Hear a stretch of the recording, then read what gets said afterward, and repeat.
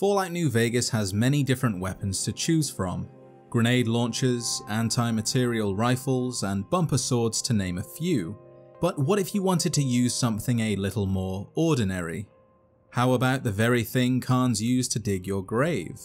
In today's video, we'll be finding out if you can beat Fallout New Vegas using only a shovel. After waking up, I gave myself an appropriate name and started making my way through the tutorial, choosing 9 strength for more damage, 9 intelligence for more skill points, 6 endurance for a slight boost to my overall health, and 1 charisma because I don't need people to like me, I just need them to die. After Doc Mitchell showed me his drawings, I chose melee weapons, speech, and barter, also choosing the Wild Wasteland trait, with that done, I robbed him, traded with Chet for a shovel, stimpaks, and bottle caps, and went next door to the Prospector Saloon to speak with Sunny. Out back, she gave me a varmint rifle and told me to shoot the bottles. Instead, I used the shovel, and nothing happened. So I went to the schoolhouse, killed the mantises, hacked the computer, picked the safe, and left. I then thought about Fallout 3 and the BB gun, I was allowed to shoot the targets to progress the game? Is using the varmint rifle to shoot the bottles really all that different? I thought not, so I went back, shot the bottles, ended the tutorial, and went to see Trudy. Inside the saloon, Cobb was causing trouble, and I decided to rid the town of him forever, using various skill books to convince the townsfolk to help me do it, all bar the stubborn old mule. I then hit level 2, increasing melee weapons, repair, science, and speech, also choosing the Black Widow perk to woohoo Benny. Shortly after, Cobb attacked the town, died, but not before killing Ringo. Luckily, he doesn't have to survive to complete the quest.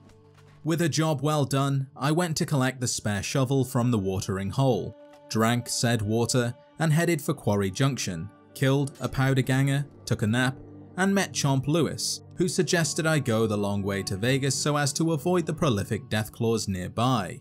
I said okay, and carried on anyway. It's pretty difficult to get through here without getting attacked by Deathclaws, which is why I went towards Neil's shack at the bottom of Black Mountain, where Neil told me I had to leave, and I did, just not back the way I came. On the other side is a way through the mountains marked by flaming barrels and the body of an NCR soldier. His uniform would come in handy, so I took it, put all those years of watching Takeshi's castle to good use, and left Black Mountain behind. Across the field I met the Fiends, who make the raiders of the capital wasteland look like pansies.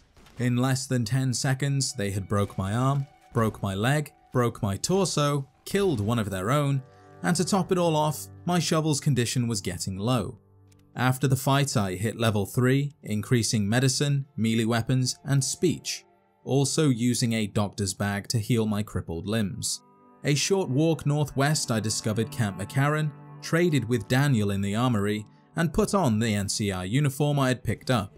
Thanks to the uniform I could walk by the guards and board the monorail directly to the strip, avoiding the need for a passport and saving both time and bottle caps. Once I was at the strip, I went to the Tops Casino, where they took my shovel, removing my ability to kill Benny. I also hit level 4, increasing speech and choosing the Educated perk. Using the Black Widow perk I convinced Benny to sleep with me, realized I couldn't kill him, ran ahead, spoke to Yes Man, who was all too happy to tell me everything I wanted to know, Benny's plan, the Platinum Chip, the fort, Yes Man even told me how I could take Vegas for myself, which I liked the sound of. I didn't want to sleep with Benny, but I had no other choice. Until he left for the fort I couldn't progress. I couldn't kill him, and I couldn't take the chip either. I had made my bed, and now I had to sleep in it with Benny. For those that don't know, Benny is voiced by Matthew Perry, and all I could think of during the sexual encounter was, is this what it would be like to be Monica? Nice Charlies too. Give him a shake for the Ben man, will you? For her sake, I hope not. After letting Benny live, for now, I went to sleep and woke up to find a note. Classic Benny. I knew what I had to do thanks to Yes Man. I also leveled up twice to level 6, increasing melee weapons and speech, also choosing the toughness perk.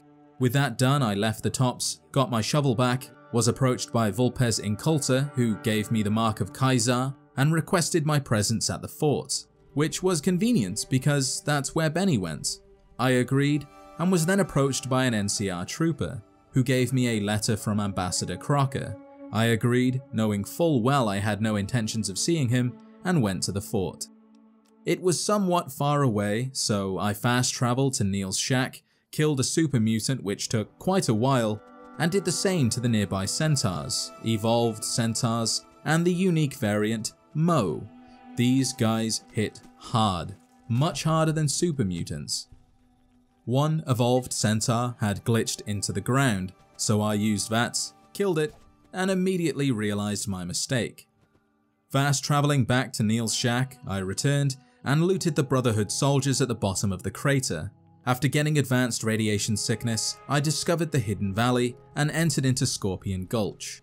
After the centaurs I was pretty confident, so I jumped down, attacked a giant rad scorpion, and died.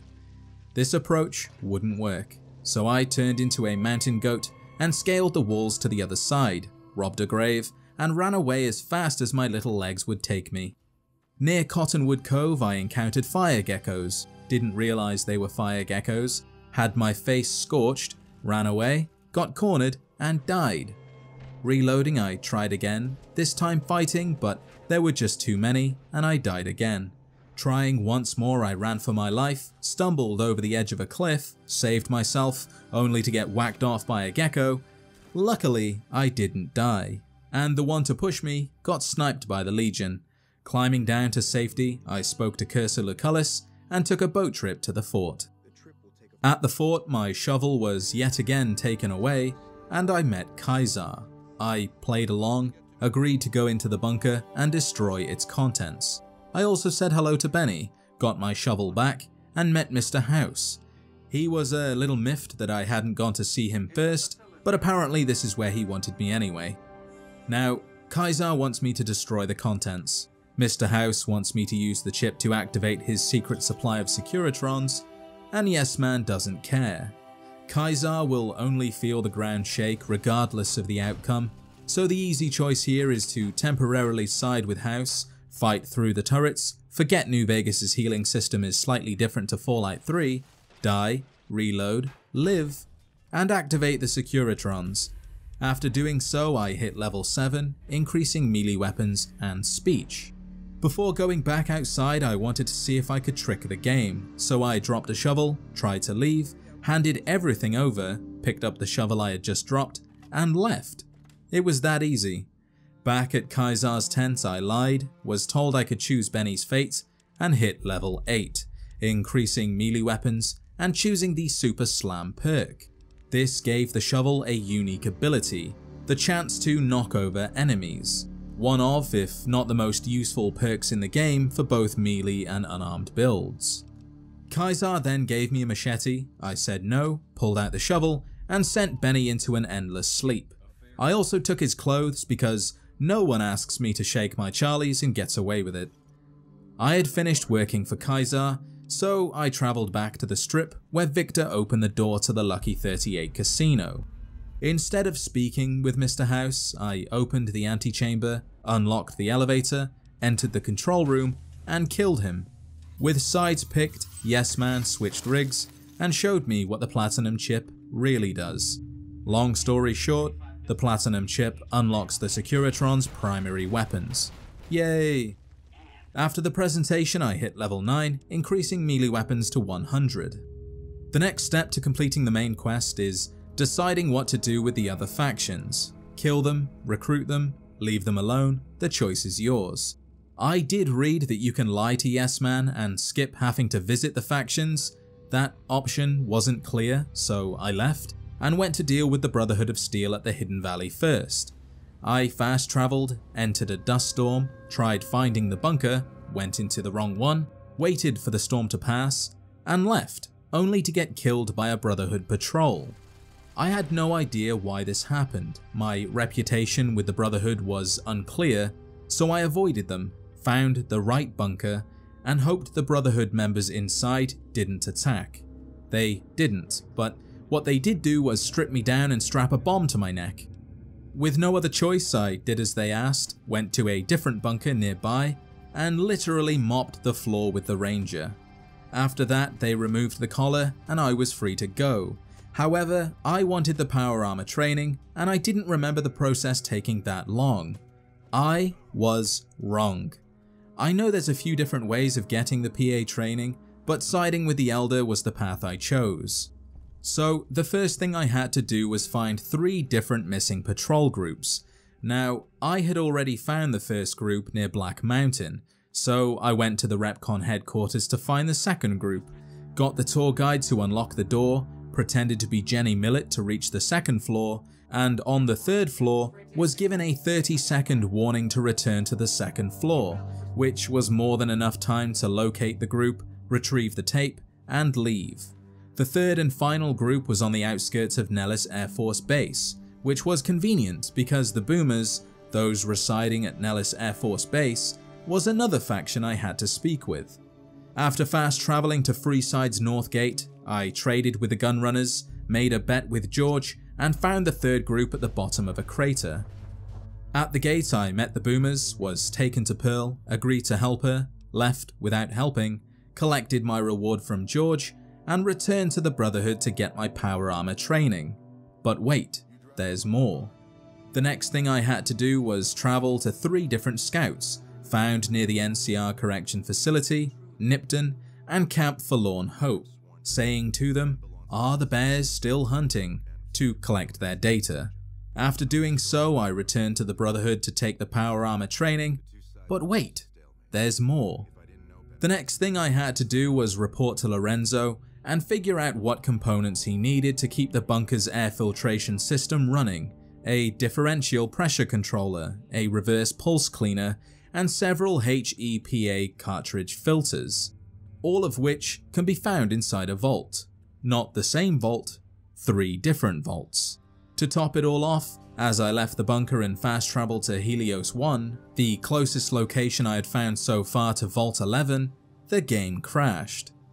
Reloading, I tried again, made it to Helios 1, made it to Vault 11, and learned that unlike the mantises back at the schoolhouse in Goodsprings, which were small and weak, big bugs meant business.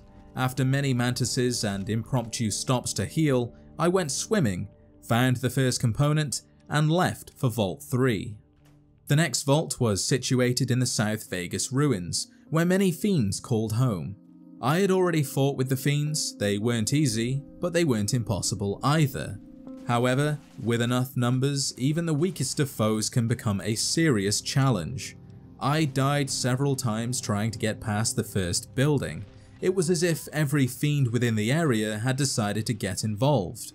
After leaving the area, healing, returning, killing one fiend at a time, leaving yet again to heal, and repeating the process over and over, I was able to make it to Vault 3 in one piece.